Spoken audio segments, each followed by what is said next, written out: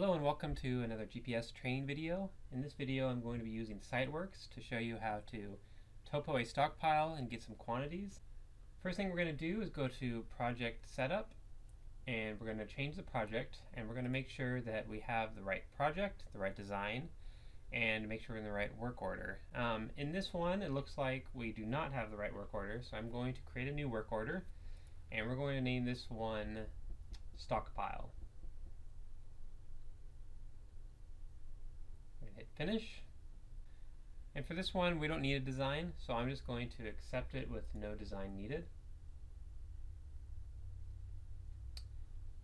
Alright, so now I can still see my control points, but I don't see the design in my way. And so now what we're going to do is we're, to hit that top left three-line menu, drops down to show measure control point, measure type, or easy level.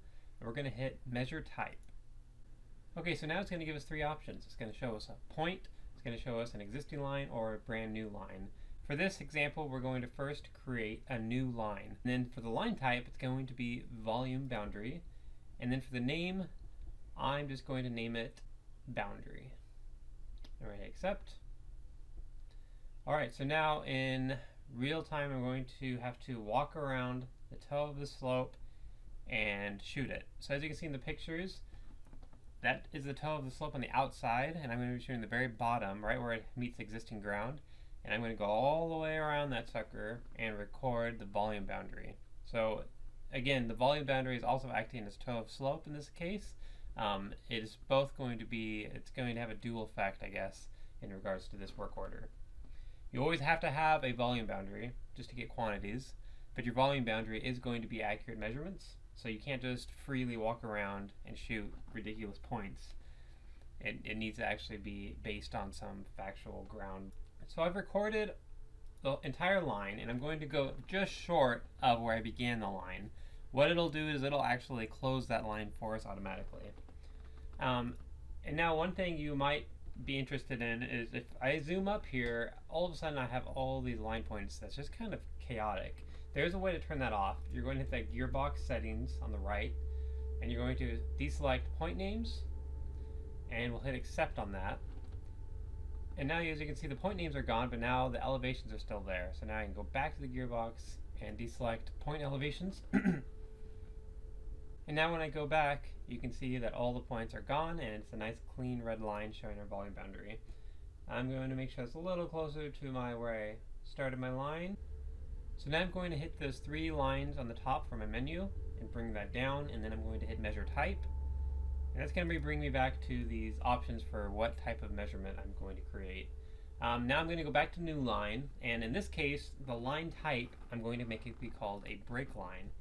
So a break line is essentially wherever we have a hard angle on our 3D surface or our 3D model because pretty much we're creating the 3D model right and that's how we're creating this this 3D model representation of the stockpile.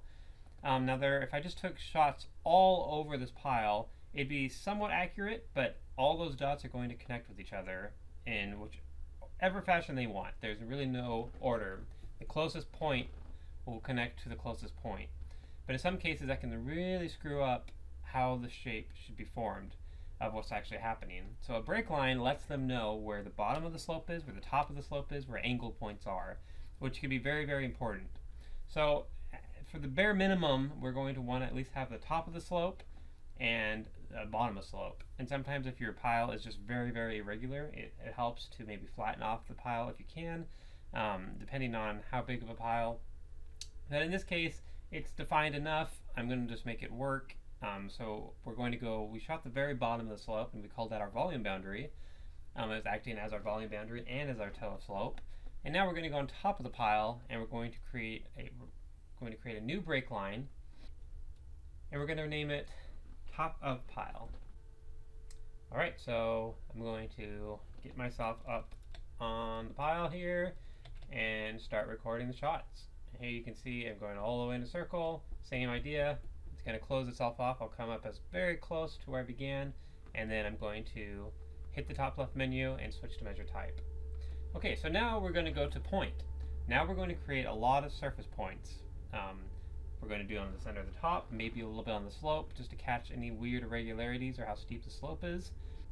All the point is, is it's its own information for that area on a contour. So if you see any specific irregularities on the grade change, you may want to make some more tight points. But in general, we'll do like a 10 by 10 grid. Um, it, it, can differ. It's definitely, if it's a very flat surface, you can definitely spread that out further. If you have a lot of irregularities on your grade, um, the tighter you make your grid lines, uh, the better. So let's go ahead and we're going to say, call this point topo 1. At this point, the, it doesn't matter what the name is. Um, it is a surface, so the point type is a surface. Now it says, do you want to show every time?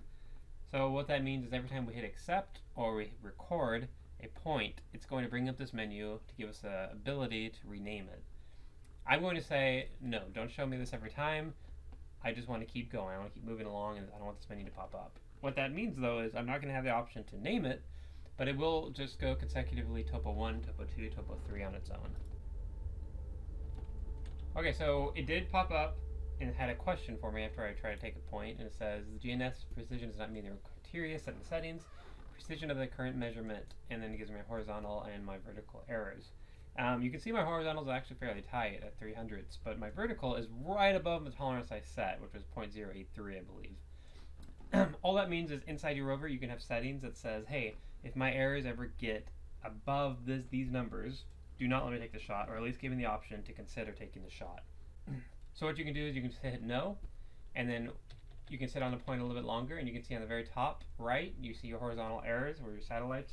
You see how many satellites you have, and you see your um, error residuals.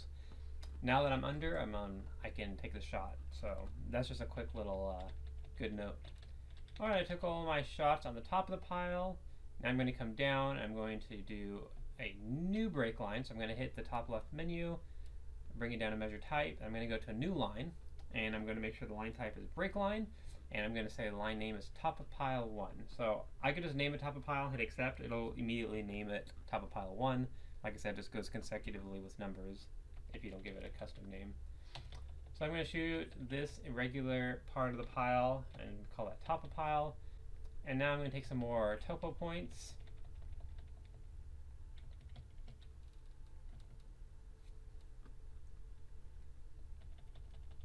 Now real quick, as I'm beginning to shoot some topo points, I notice that my line is a little bit um, goofy. You see that top of that top of uh, pile line is just that doesn't quite work for me. I screwed up on my alignment.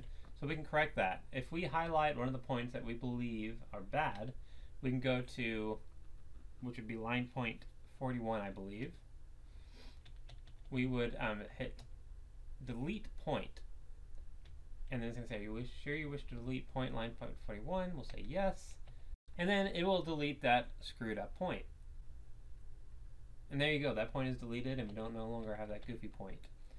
Okay, I'm going to take a few more shots here, and I'm going to take some on around this little ditch, if you will, um, just because there's some weird elevations going on in there, and I want to make sure that it's captured. So, so now that we've taken enough shots of our stockpile and we feel good about the uh, measurements we've taken, now we want to get some numbers.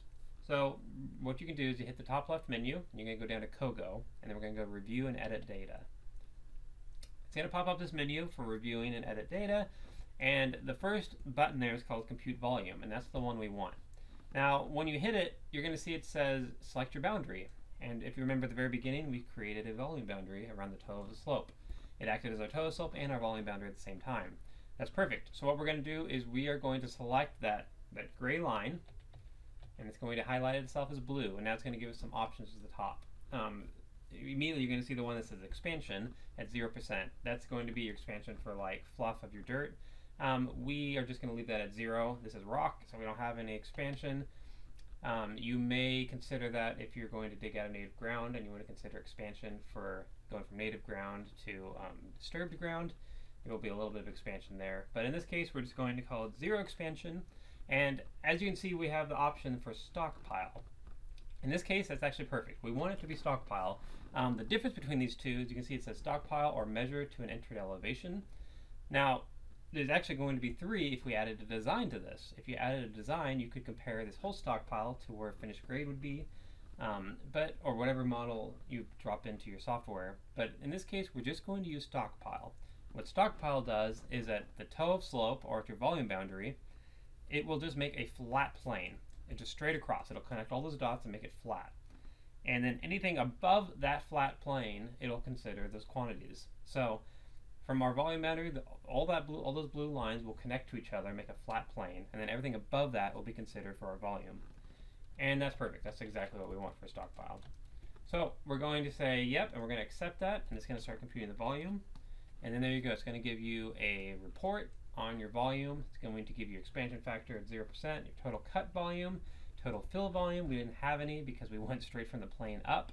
So it's saying, what this is basically saying is if you wanted to remove that pile, you would have 83 or 84 cubic yards. Um, as you can see, the net cut balance is exactly the same because there is no fill to balance out. It gives you your base area, base perimeter, um, your measured surface area, and your boundary. It's letting you know which boundary you selected in case you have multiple ones or a few different stockpiles that you want to measure. Okay, so let's say though we did want to compare it to a design. Well, we don't have a design in here, so we got to go back out and we're going to hit that top left menu button, those three lines. We're going to go to Project Setup, and we're going to change Project, and then we're going to add a design. Before I said no design needed, we're going to say we want Chick-fil-A finish grade, hit Accept. Okay, and we'll zoom up, and there we are. There's our stockpile as it sits on the model. Okay, so there's a lot going on here, as you can see. We're sitting over essentially a parking lot, and there's an island that we're actually kind of sitting on top as well. Well, let's just say for the fun of it, we wanted to know what it would take from to compare this stockpile to finished grade. How much material does actually has to come out of this area of this parking lot, or how much rock can we leave there? Um, it's kind of a goofy scenario. You probably wouldn't do this, but this is just for an example. So if we did want to compare the stockpile to finished grade, or to any model we throw in here, we're going to go to that menu. We're going to go to COGO, Review and Edit Data. Now immediately it's going to give you those all those options. We're going to hit that volume button right off the bat, that little box and it's going to say, hey, select your boundary. So we're going to select our gray boundary, and then we're going to hit that stockpile option, and now we have three options. We have stockpile, measure to enter to elevation, or measure to design.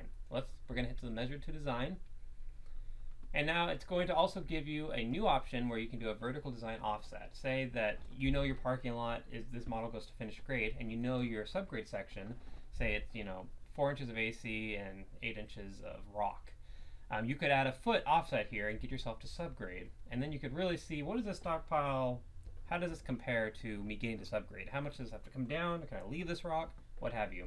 So you could add that here um, and it would drop everything of that model down a foot and still compare it to your stockpile. We're going to hit accept on that and there you go, you get your uh, report. And as you can see here now we do have a total fill volume. Um, it's going to actually balance that out for you in the areas that it has to cut and fill. And that will be how you get measurements and the quantities on stockpile.